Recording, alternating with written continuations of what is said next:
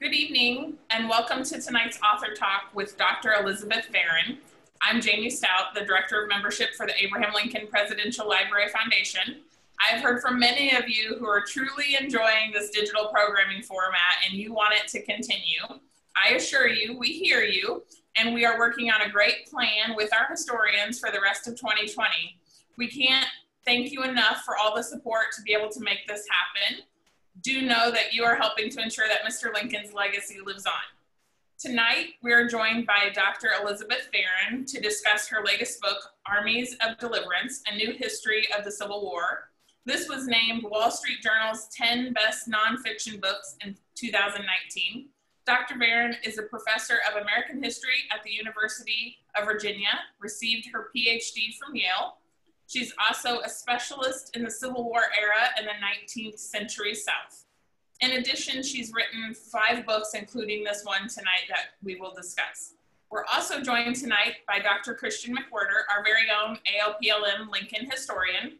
Dr. McWhirter and Dr. Varon will have a discussion. We'll entertain questions throughout the night, so we encourage you to type your questions below in the Q&A box, and I will get those um, asked. We hope to get all to all of them, but we may not. Um, if we don't, we'll give you contact information on how to get those questions answered. So again, thank you so much for joining us. And please help me welcome Christian and Liz, and we'll get started. Thank you.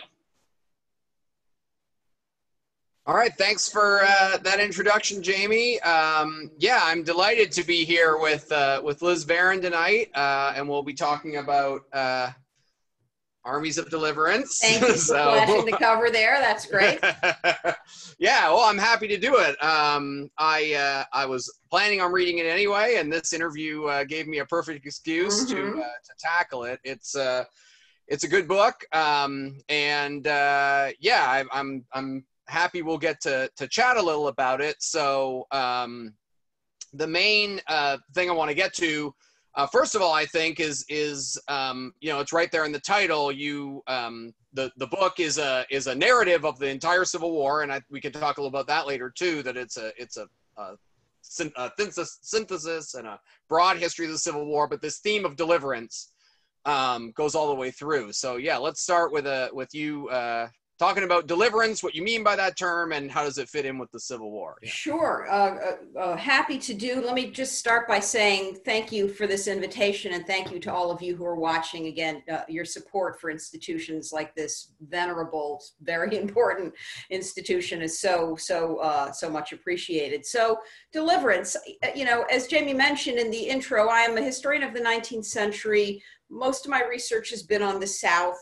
I was commissioned to write a uh, a book that would cover all of Civil War history that was suitable for classroom use as a textbook. We can come back to some of those challenges down the line. But as I set out, I was really interested in deepening my understanding of Northern politics and particularly in the question of how Lincoln and the North's other leaders galvanized public opinion and then sustained Northern morale over the course of this long, bloody war.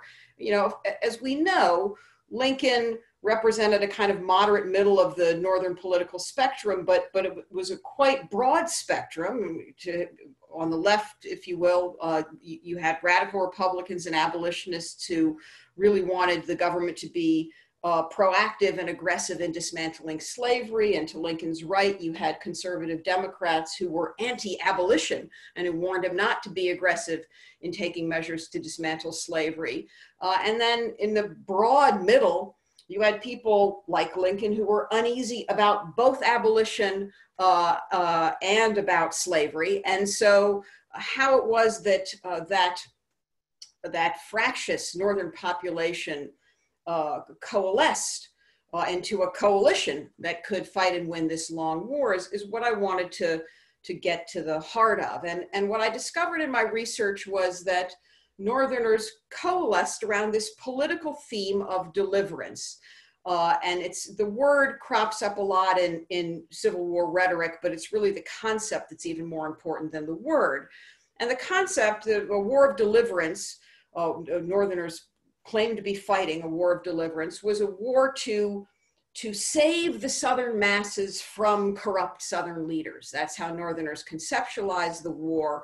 Uh, that's a mission uh, uh, that, um, that many different segments of the Northern population could, could embrace. So I make the case in this book that deliverance is a theme. The war is a war to deliver uh, the Southern masses from uh, slave power aristocrats, secessionists who have their their their uh, uh, who've dominated Southern politics. The war is a war to deliver to the Southern masses the blessings of free society. That um, idea, I discover, was so compelling that it drew followers like a magnet to the Union cause and enabled Lincoln to form this uh, enduring coalition. I also find, and this was the most uh, surprising thing, I, I didn't uh, come to this project with this theme. It emerged as I was doing my research.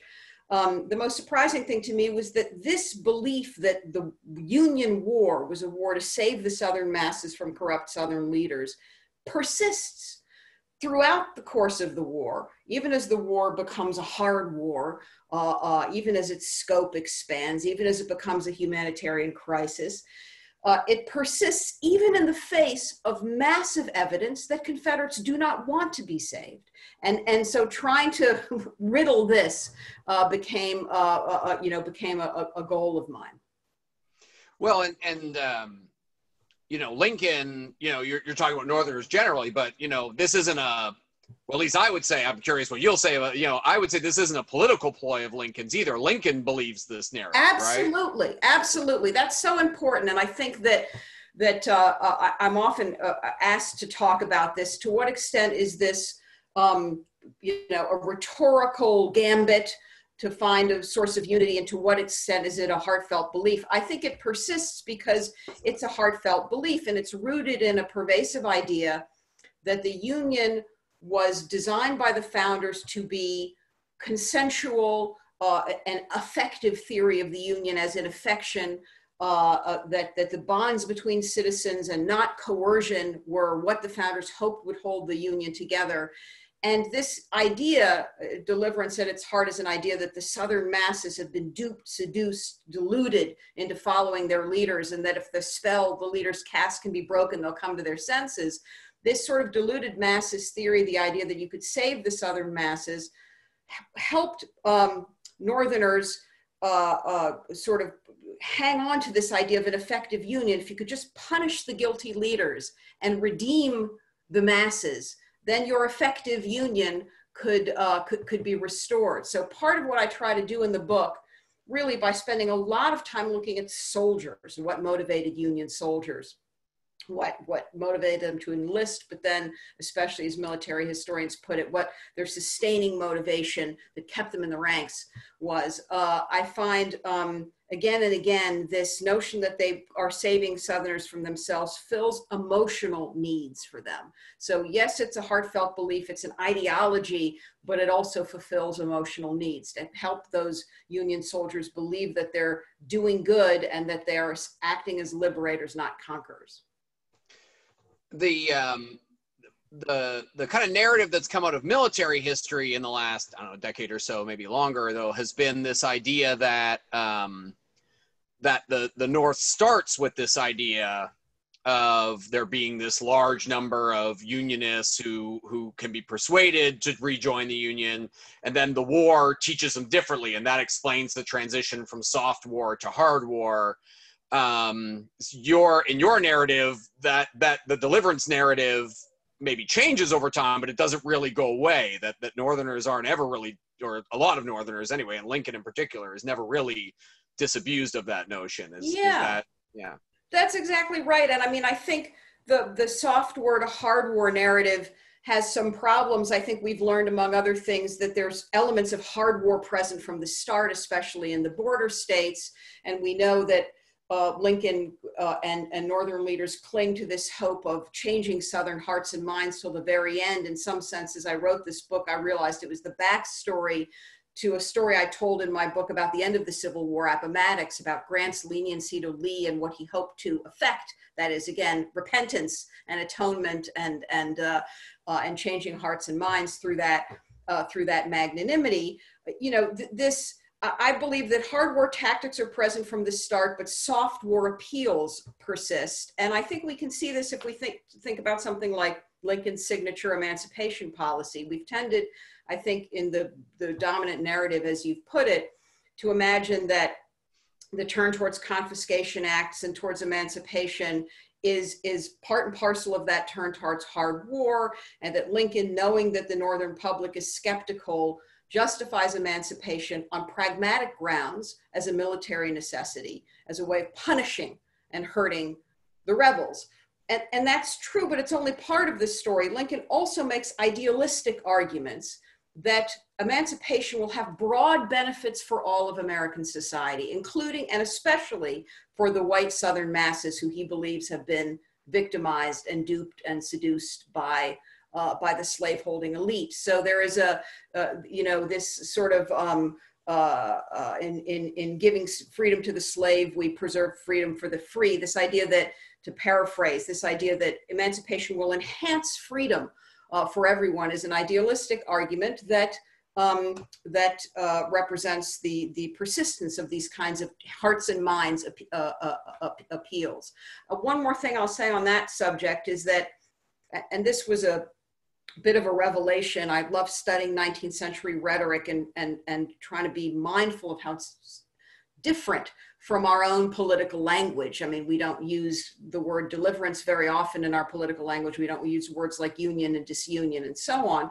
And one of the things that became clear to me is that, um, you know, part of the reason we're wedded to this soft war to hard war narrative is we think uh, that, well, you know, once the scope of the war expands, uh, and the amount of you know pain inflicted by both armies expands and the human costs of the uh, war expand and the brutality expands and the and the uh, barriers between home front and battlefront seem to dissolve um, you know the era of soft war is over. But what we have to realize is, is if you're in the frame of mind of 19th century people they believed that pain could be redemptive. I mean, this was their religious worldview, you know, sort of trials by fire uh, uh, uh, uh and and, uh, and and and the like. But it was also their medical view. This was a world in which you know medical science told them that a, a, wound wasn't healing unless the patient was in pain.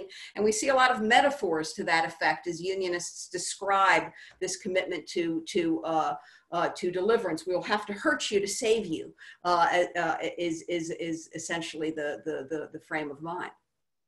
That's really interesting. Um, before before we go on, I probably should have asked you to do this before we got on this line. And we've already gotten a question. Someone wanting to define hard and soft war a little bit. You did a little bit in your answer, but maybe yeah. can you just give a more straightforward definition of that? Yeah, I mean, I think that you know the way we've thought about soft war is um, the various incentives that the uh, Union was offering the Confederates to lure them back into the national fold and reassurances. So uh, that would be uh, Lincoln and Congress promising that the North had no intention of dismantling slavery where it already existed. They were not going to do that forcibly. The archetypal soft war uh, instrument was Lincoln's offer of, of gradual compensated emancipation to the border states to say, if you free your slaves voluntarily, maybe over a very long time, we'll compensate you for them and we'll send them away as to try to incentivize a gradual change that is uh, uh, sort of driven um, by, uh,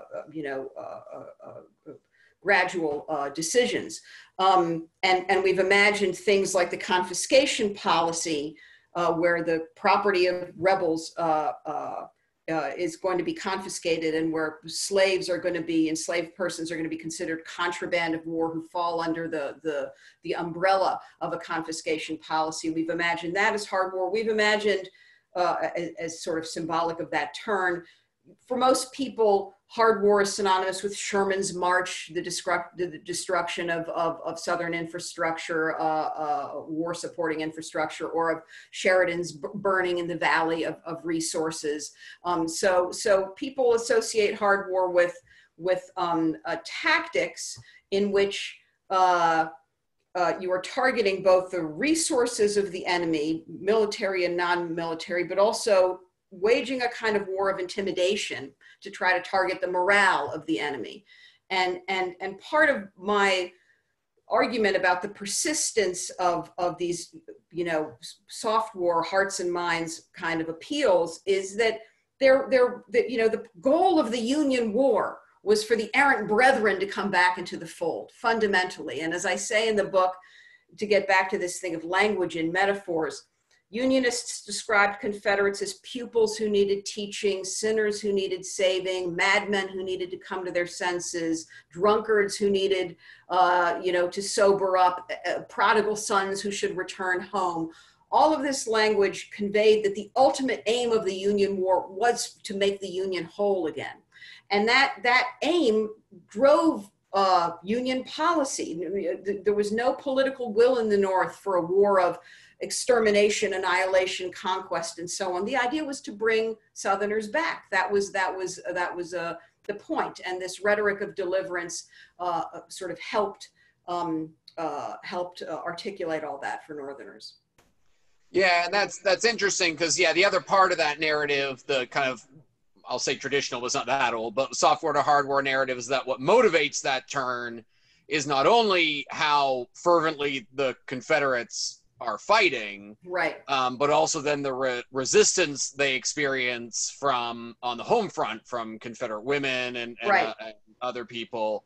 Right. Um, and but you make a good point though which is well if if they if the union then comes to the conclusion well these guys are really serious about this so we'd better really stamp down on this well then they can't believe or they're going to have trouble believing right. that you can have a harmonious union afterwards right? Yeah well exactly and i mean i you know one of the things we we we talked about discussing which you're you're segueing into nicely here is is you know what was the degree of of dissent and opposition uh, within the confederacy and was it naive of of northerners to believe that they could change southern hearts and minds and and it's an interesting question to answer because in retrospect, in our retrospect, we can see that in some sense it was naive. Most whites in the Confederate States were diehard Confederates and had no intention of, of, of deserting the Confederate cause.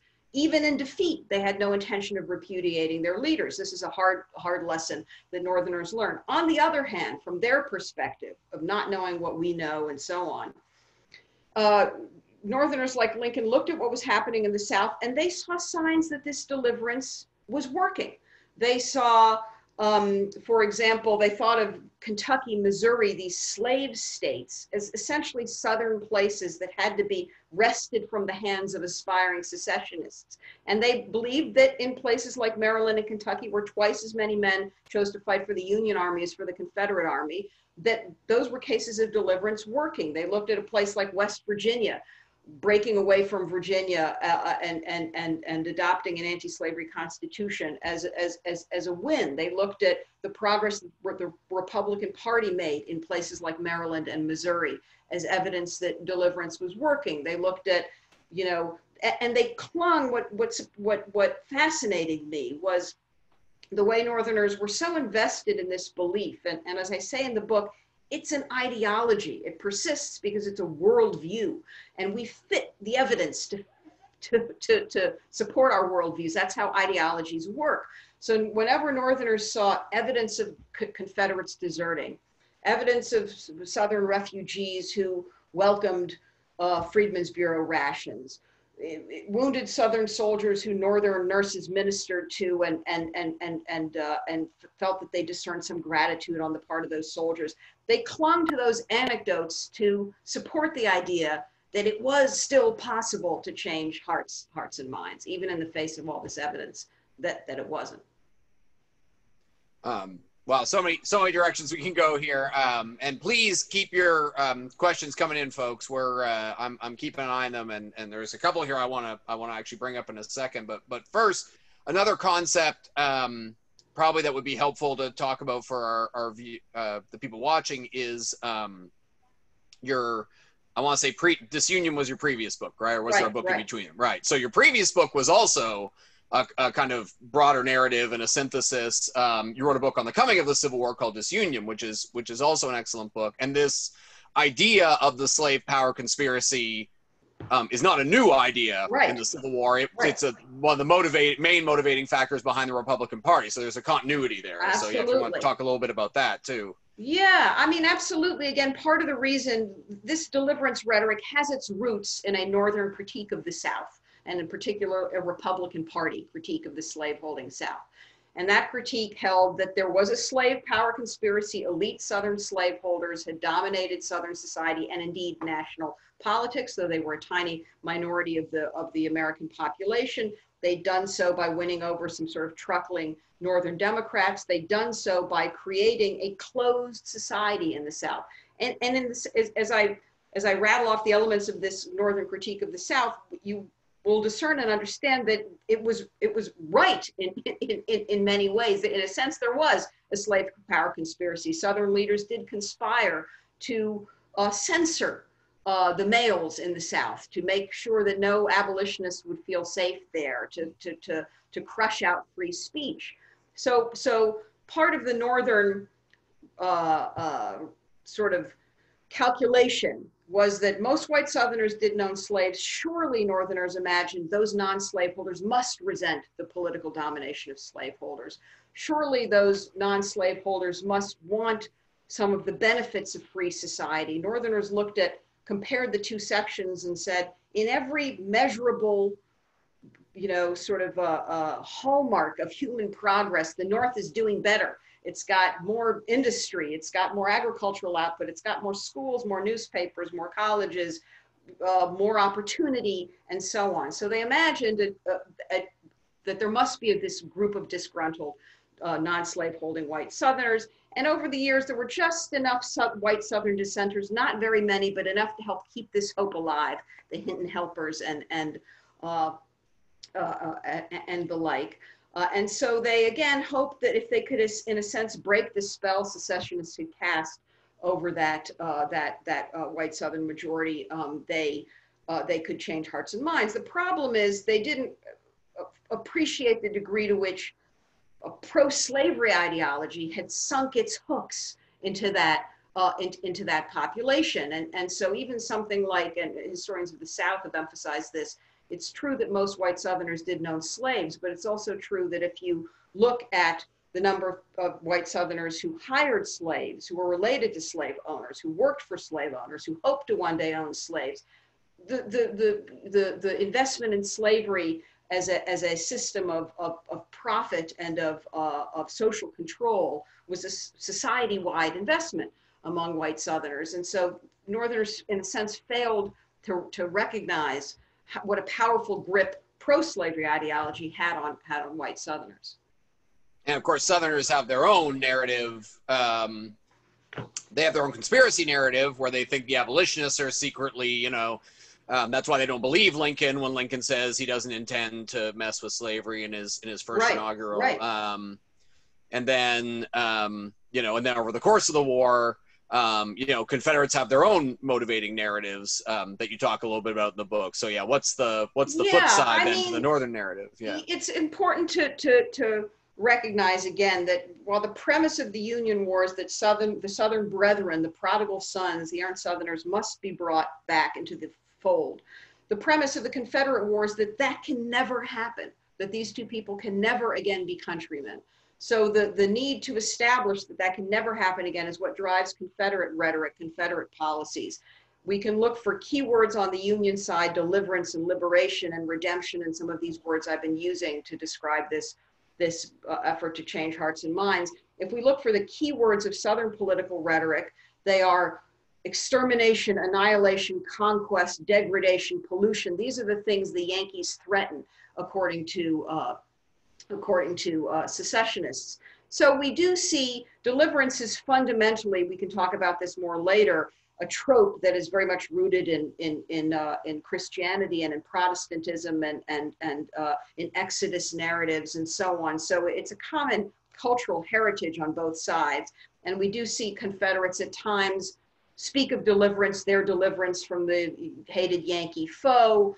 Uh, as you've alluded to, sometimes we see them speak of, uh, for example, delivering the population of, uh, of Kentucky or of Missouri, these Union held slave states, uh, from uh, you know from uh, what they what they call Yankee uh, tyranny. But in general, deliverance rhetoric is much more problematic for Confederates because of the chance that all this talk of liberation will spill over into the sphere of slavery, and right. so we don't see that same that same uh, uh, you know focus on that as as as we do. Um, uh, you know, as we do on the northern side, and it's very important to note. I mean, one of the, one of the key things I, I'm, I'm trying to conjure in this book is that both North and South are divided.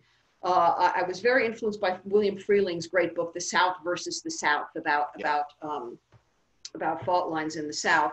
And while uh, it's true that unionism among whites in the Confederate States is, is there are very few unionists or few and far between. Of course, African Americans are the most important Southern unionists, and they're right. at the heart of this, uh, uh, at the heart of this deliverance narrative. And I make a point uh, in the book of saying that in effect, uh, African Americans, Northern reformers, fugitive slaves, USCT soldiers, um, had their own deliverance narrative, uh, deliverance narratives. Exodus story, the story of Moses, had been part of, of, of, of Black abolitionism for decades at this point. But uh, African American deliverance narratives are broader than than the than the the version that most uh, white Northerners cling to. That is to say, African Americans like Frederick Douglass believe that they're fighting a war on two fronts: a war against the horrors of Southern slavery on the one hand, from which they need deliverance, but also a war against persistent racial discrimination in the North, mm-hmm. where African Americans are technically free, but are but are relegated to a sort of second class citizenship. And so deliverance is defined by African Americans more broadly uh, to include deliverance from racism, the national sin yeah. and scourge, not only deliverance from slavery, to, to, to, to uh, include Black citizenship and the full measure of equal rights and inclusion in the, uh, in, in the civic sphere and so on. And so what you see African American commentators saying again and again is if you want deliverance, give political rights to the truest Southerners, the tr-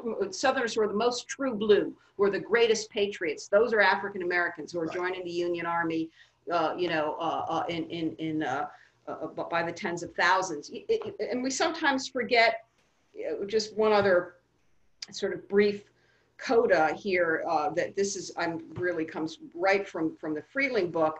Um, we do have a tendency in our shorthand to equate the South and the Confederacy. The South lost the war, the North yes. lost. But we shouldn't do that because, of course, there are substantial numbers of Southerners, African Americans, and a small but symbolically significant number of whites who who uh, work for and pray for Union victory. Uh, we, we can forget sometimes that of the 200,000 African Americans who served in the Union Army and Navy, nearly 80% were Southerners, people who had fled slavery to take up those, those roles. So, um, uh, uh, you know, deliverance has all these different uh, dimensions and, and, and uh, variations uh, in, in different communities among different interest groups.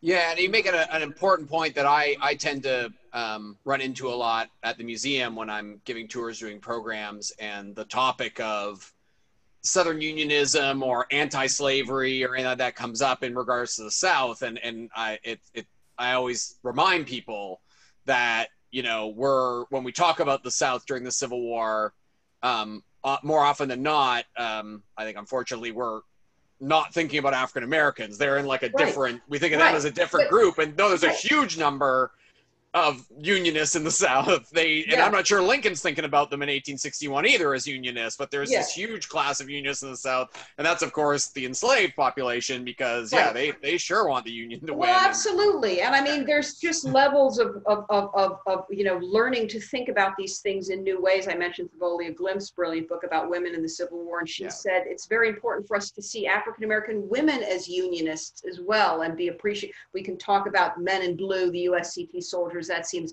a pretty obvious expression of unionism. But she and others have pointed out, and I do make a make point of this in the book, that women are integral to every one of these debates, every every facet of war making in both societies. But um, but uh, certainly, uh, you know, Harriet Tubman uh, uh is a famous example. Susie King Taylor, Harriet Jacobs. Uh, one could go on and on to to see that the, these acts of resistance by enslaved women, from small to to to, to uh, you know large, as as destabilizing slavery uh, and as contributing to its demise, and as political acts is is a very important part of this understanding unionism in this in this broad sense. Yeah, absolutely. Um, I've had a couple questions so far that touch on. I'm going to try to combine them both. They're sure. both um, asking um, to some into one way or another about Union soldiers and this deliverance narrative, and does it evolve over time? Yeah. So particularly yeah. in that context. Yeah. yeah, that's a great question. I mean, eh, Union soldiers are so you know so so uh, fascinating uh, in the way that they that they think about this um, and, and, it gets back to our discussion about to what extent was this a rhetorical posture and to what extent was a deeply held belief. And let me put it this way if I'd only seen this deliverance rhetoric in speeches and sermons and editorials, but not seen it in the letter a soldier writes home to his wife or in his diary entry or whatever, I might have had, you know, pa- paused. But I did see this deliverance rhetoric. We are here to save these benighted Southerners from their own leaders. I saw it everywhere in, in the in the moment writings by Union soldiers from New England, from the Midwest, from uh, the border states, from the mid Atlantic states, uh, officers and enlisted men at the beginning of the war, at the end of the war. Um, it was as if they'd been handed a script from which to read as they sat down and wrote those those letters yeah. home, and that that reinforced that it's a deeply held belief. And there's many things about that that are interesting to me. One of the most interesting was uh, I'm a Virginian. I live in Virginia. Um, uh, again, most of my work has been on Virginia. I was very interested to see, as I was reading, for example, about the Peninsula Campaign and Seven Days and so on, Union soldiers' descriptions of the South and when they encountered the South. And I found that by and large, when they were writing about Virginia, for example, when they landed at places like Yorktown, you know, the site of the. Great Revolutionary uh, Battle, that they weren't describing the South as as forbidding enemy country. They were describing it as as their own homeland, part of their country, their patrimony, the, a, a, a place of, of unmet potential, of faded glory that had that free labor, a free labor system would regenerate, a place that had failed to, to, to live up to its potential because it had been scourged by the blight of slavery, as so many of them put it. Uh, and, and it's a reminder that, you know, um, that these Southern soldiers, uh, many of them, uh, I'm talking in particularly, uh, I mean, these Northern soldiers, Union men at these early phases of, of the war, the kind of men whose letters uh, uh, on the Virginia Peninsula, letters and diaries I read, venerated the Southern founders, you know, uh, did, didn't want to, didn't imagine that the war would bring a, a permanent um, sort of alienation uh, from the South, but that it would restore a kind of um, imagined past that the secessionists had betrayed. Yeah. Uh, uh, so, so the, uh, the, you know, so that that's that's really really uh, key. And then you know, when um, soldiers' letters and, and you know change over time. To get back to this question about hard war, we associate Sherman more than anyone else with hard war. He wrote a lot of verbiage suggesting, you know, Southerners should be punished for, uh, you know, for starting and waging uh, hard war. But even Sherman imagined himself as a as a deliverer, as a liberator, and he wrote in instructions to his men as they as they as they uh, were on Sherman's march to to practice what the historian Mark Grimsley has cleverly called a kind of directed severity to, to yeah. be harder on the slaveholding elite than on those poor people who might, again, be seen as their victims, who might be dupes, whose hearts and minds might be changed, who might be less guilty, uh, and so on. Sort of sliding scale of guilt. Well, and, and um, I, I'll, I'll I won't. I'll try to get on my soapbox for too long here because this is about your book and my work. But um, I wish I'd read your book when I was doing uh, my stuff on music because marching through Georgia. I mean, read the lyrics fits with this perfectly because it turns Sherman's march into an act of deliverance. It March, uh, Sherman's March is rejuvenating the South. Yeah, yeah. um, well, you didn't get to read song. my book while you were writing yours, but I read your book while I was writing well, mine. thank you, thank you. so, so, so uh, as you will note, so uh, yeah, that's exactly right, and and and it's uh, uh, it's it's right there, and that's a late in the war song. Very late, Not yeah. early in the it's at the end of the war song. So Yeah, yeah. they the, it, it absolutely reconciles this idea of it's a hard war action, but they're Right. casting it in a deliverance light, and the soldiers love that song. It's one of the Absolutely. last big soldier anthems of the war. absolutely, absolutely. Um, I want to. We're getting a lot of questions now, which is great. So I'm, I'm just trying. Uh, the Sure. um, and I think we wanted to get on this earlier. So I'm glad uh, one of our our viewers brought us back to this, which is um, that enslaved people had their own uh, obvious um, deliverance narrative too. So can we talk a little about that and how that evolves over time? Yeah? I mean, I, I had as a, as a, as a goal in this, um, in, uh, for, for this book to, uh, really integrate social and political and military history and to, dev- to, to define political history broadly to take in this realm of reform and resistance by free black reformers and by fugitive slaves and to have uh, Frederick Douglass feature uh, play a large role, but not not be the only sort of spokesman for this th- this this uh, rich political culture to include uh, to include other um, other voices. And so uh, you, you know there's subtle differences, some some subtle, some not so subtle differences between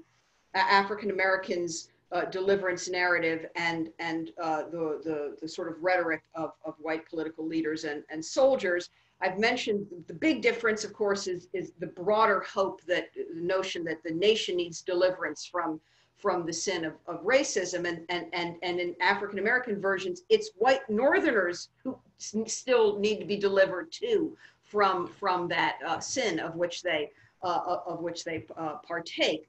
Um, but another difference, not at all surprising, is that um, African American rhetoric is much less focused on this idea that um, white Southern hearts and minds can be changed. They're under no illusions that that's going to be easy. They, they have they have a they have a sense, a much uh, uh, starker sense of the broad complicity of Southern whites in the system of slavery. So so they they um, discern more carefully among the white Southern population. They see see most of them as very steeped in this in this uh, horrific racist pro-slavery ideology. They they have some hope for the for the true blue white Southern Unionists, the ones who never supported the Confederacy uh, and who seem open to this, uh, to uh, uh, you know these kind of broader uh, uh, arguments. Um, so even white Southern Unionists, they were relatively few in number.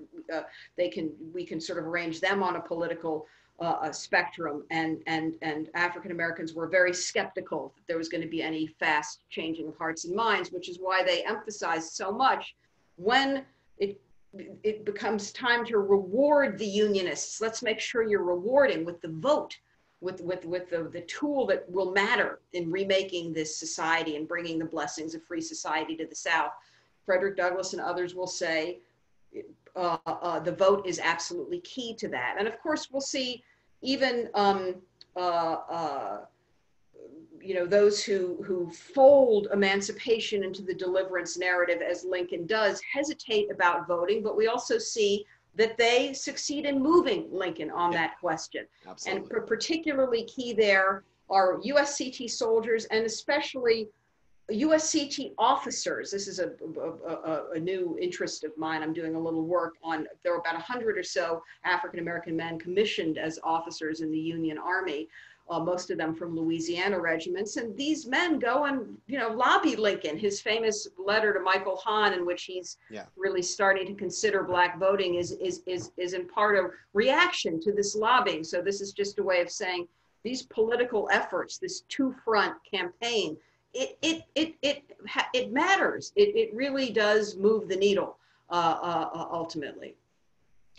Um, I'll I'll jump around a little bit here again because we're getting more questions. We got a question about the role of the press in the Yeah. deliverance narrative and and how what kind of an impact is the press having. So Yeah, that's a hugely important question. I, I, I used newspapers a great deal in writing this book. Um, uh, again, not exclusively. You have to cross-reference the the public uh, uh, materials with the in the moment, uh, you know, uh, uh, unpublished sort of stuff like letters and diaries. But um, uh, but you know, for me, the, availability of newspapers in their digital form meant that I could keyword search for words like deliverance and liberation and see all of the many uses. It was a way of of uh, a reality check for me to to, to trace the the the uh, the uses of the um, uh, of the term. And, and, and so I found again, deliverance rhetoric was, um, was ubiquitous uh, in, in the Northern press, particularly on the Republican side, although interestingly, Northern Democrats make up about 40% of the Northern electorate, Lincoln's opposition party, and so on. Democrats have their own spin, Democratic editors and so on, their own spin on deliverance. They believe, in a sense, if you're going to change Southern hearts and minds, you have to deliver white Southerners from the misapprehension that the North is irredeemably radical. You have to persuade them that, that there is a kind of conservative North that can be restored to power and that, that and so on. So there's, there's again, endless, uh, endless variations. But the press is important because certain uh, editors like Horace Greeley, uh, for example, um, uh, uh, you know, are, are uh, in Lincoln's ear all along. The, the press is important um, because um, African American editors, Elisha Weaver at the Christian Recorder, Robert Hamilton at the Anglo African, and others are bringing those voices of those USCT men in service to a reading uh, to a reading public. Um, uh, the press is important in in um, helping Lincoln pivot really deliverance rhetoric is tested in the 1864 election. Lincoln under threat from a Democratic opponents, this big kind of rebranding exercise where the National Union Party, uh, Southern Unionist on the ticket, Andrew Johnson, no accident. This is a, a again a nod to the power of this deliverance theme. Um, uh, uh, the press is, is, is, is, is key in, in, in, in uh, in debating and and uh, vetting and uh, selling uh, uh, all uh, Lincoln's policies. And, and again, to me, the important takeaway of the ubiquity of this term in the press was that I saw it in every stop along the political spectrum, uses of deliverance, uh, you know, uh, among unionists, but with important variations. Um, we have a couple questions about memory that I want to get to, but before sure. we get to that, I, I do want to talk a little. I want to back up a little yeah. bit. Um, and talk about a little bit more about the book in broad terms because we've mostly just talked about this question of deliverance, which yeah. is obviously your main theme. But the book is a complete narrative of the Civil War, yeah. um, and um, I, I, thought, uh, uh, uh, you know, the, for what it's worth, a really well crafted one. Uh, I really enjoyed reading it. I, I was really impressed about a couple things that you do in it, um, or two things in particular that I'm going to highlight that you do in it.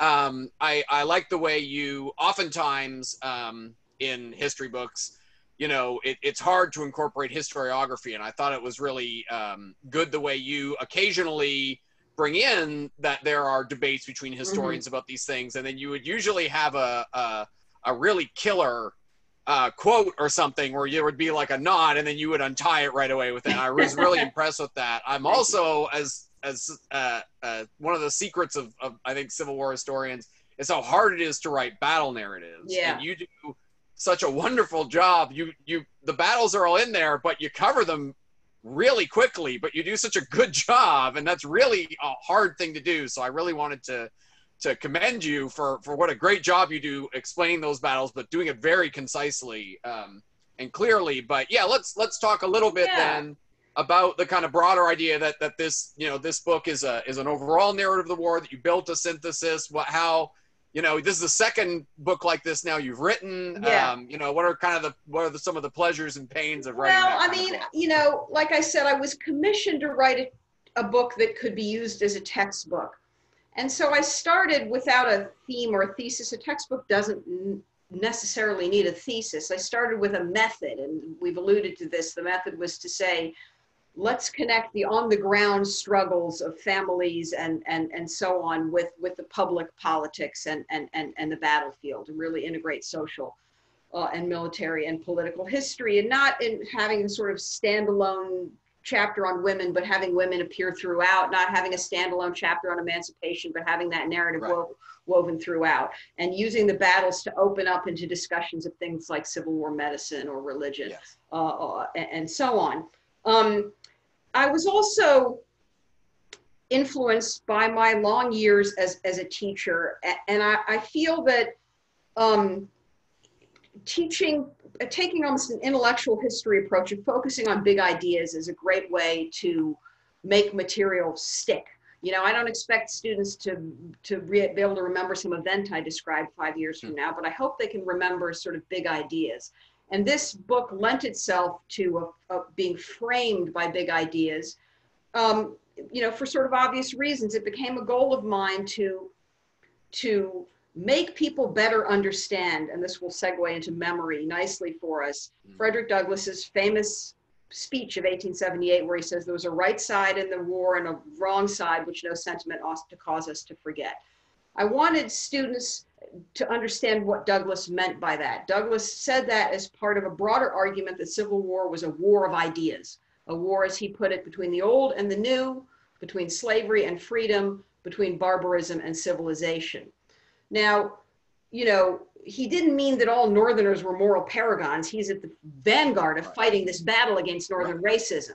What he meant was that even after you have accounted for the political variability in both sections, and even after you've accounted for the war's brutality and its human toll, fundamentally the Union and the Confederacy represented two starkly different ideologies and two starkly different destinies for America. And that's what he meant when he said right and wrong, not perfect and, you know and, and, and, and imperfect, but but he was drawing attention to that distinction. So I wanted students to understand some of these big ideas that um, you know, union ideology posited that the country should no longer be run by a small group of elite slaveholders, whereas Confederate ideology posited that the country should continue to be run by a group of a, a small group of elite slaveholders.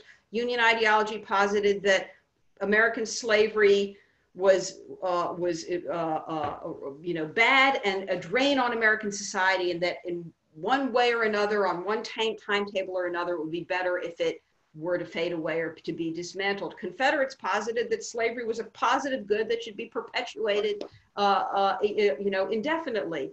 The Union gave us Abraham Lincoln, this, this, uh, you know, not perfect man, but a man of humility, of moral striving, who grows over the course of the war. The Confederacy, as Douglass was very much emphasizing in that speech, gave us these false idols like Lee and demanded that people literally bow in worshipful reverence before these false idols. Th- these are these are big differences, and to understand the ways in which the war was a war about ideas, and and and to understand those ideas in their 19th century vocabulary, deeply contextualized. Um, you know what, what, what ended up being a, a, a goal of a goal of the book, and so uh, although you know, and reviewers have noted this. Um, we, could debate that I make a case that deliverance ideology is central and was prevalent and so on. That's something that, like most other historical interpretations, that is open to debate. But I love the idea that a student reading this isn't just being presented as uh, with something that trying to pass itself off as a seamless narrative of you know large H history as it happened, but is being let in in selective ways, let in on the little secret that we debate and discuss everything, and that and and and there are standards for sound arguments and unsound arguments. We're trying to teach students what they are, but but I, I, as a teacher, I feel that a textbook that has a point of view is more interesting than one that is that doesn't because it, it you know uh, uh, uh, you know creates some possibilities for some some back and forth and for some questions about how we historians do what we do how we reach our conclusions do our research and so on Yeah, and and I just want to reemphasize um, again that you know that it although you obviously had a textbook in mind when you think the word textbook, you Right. know, there's a, a particular image. This Right. this does not read like a textbook at No. all. I would it, I, I would encourage it's a very readable history of the war, and if you want to read an overall history of the war, you know, um, I don't want to. no Uh, no i mean i'm glad you you said that because i, I should you know yeah. to be perfectly clear i i uh, you know, I told Oxford University Press I was not going to write a conventional textbook, and I asked right. them to bring out a version of the book that is a that is a that is a popular history, which is what yes. which is what this is. Um, it, it, it, you know it will have a second life in which it doubles as a textbook. But I wrote a, a narrative history that is meant to be broadly accessible, meant to be a good read, uh, and and meant to you know sit whatever on, on Barnes and Noble and so on, uh, as well as uh, be useful to students for sure. Yeah, absolutely. I mean, most a lot of our uh, people watching are probably familiar with McPherson's Battle Cry of Freedom. Yeah. That's like the standard narrative history yeah. Civil War everybody knows.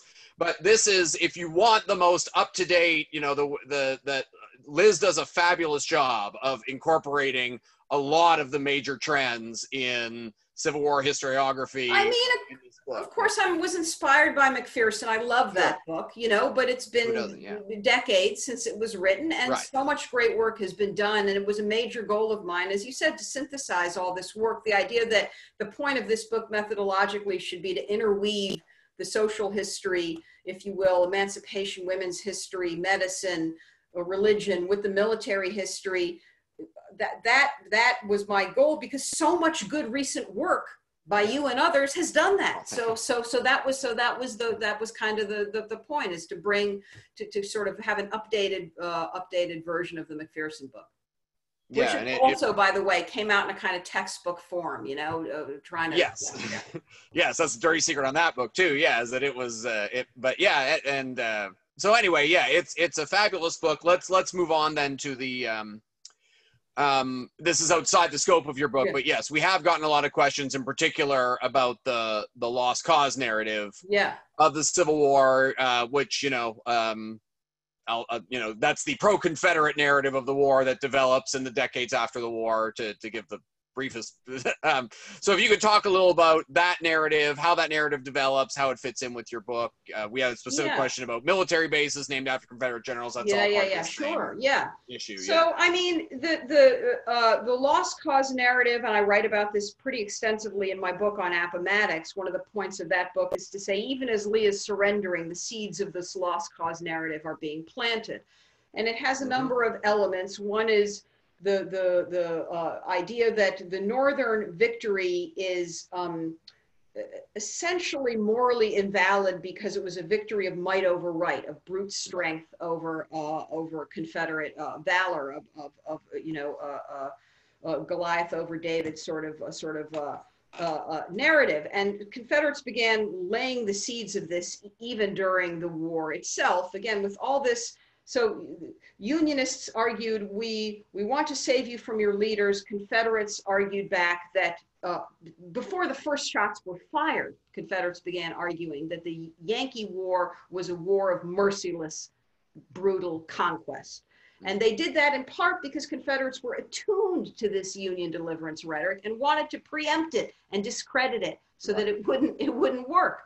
Uh, so they try to build a kind of ideological shield to prevent that disunion, uh, that uh, rather deliverance rhetoric from from making uh, any headway in the South. And and so they Confederate rhetoric demonizes Yankees as mercenaries and hirelings and and and uh, uh, uh, you know, uh, as essentially as, as, as again, brutal conquerors and, and beasts. And so that, that all gets folded into this lost cause idea that, that, uh, that um, the Confederacy lost not due to any failings of its own, but because it was overwhelmed by the numbers and resources, as Lee says in his famous uh, uh, farewell uh, address to his troops at Appomattox. Um, but it has other elements uh, uh as well. You know, part of what I argue in Appomattox was that um, part of the purpose of denigrating the Union victory as a victory of, of, of, uh, of might over right was to say that the Union hadn't won any right as a result of that victory to impose its political will on the South.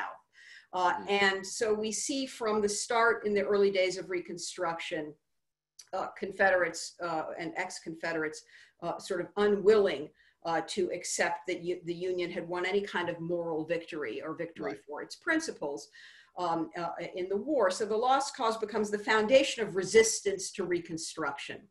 Uh, and uh, and it takes on, in essence, the the lost cause is also a view that while they've lost on the battlefield, the cause will one day prevail in the po- political realm. Um, uh, uh, and and and the lost cause is is such a terrible distortion uh, uh, on so many levels. One of the things it does is sweep under the rug this history of Southern Unionism that I've described and posit that there was a solid South, again, that there were no fissures in Southern society. It's a way for Confederates to banish any thoughts of self-recrimination that mistakes might have been made on their side that divisions in their own society that poor leadership might have might have brought them down. So it's it's an effort to, to banish those sorts of thoughts. And then it's an effort to galvanize opposition to reconstruction and the lost cause over the decades as reconstruction congressional reconstruction unfolds and then falls in the face of a massive propaganda campaign and right. violent Klan violence, white supremacist terrorism in the South, uh, the lost cause then um, sort of takes on the defeat of Reconstruction as the symbolic moment of vindication uh, uh, uh, uh, on, on the part of uh, Confederates. The lost cause has one more key element, and that is that it is it represents the terms on which Southerners are willing to Confederates. I should be careful, heed my own yeah, my own right. warning. It Former represents the terms yeah. on which Confederates are willing to reconcile with the North.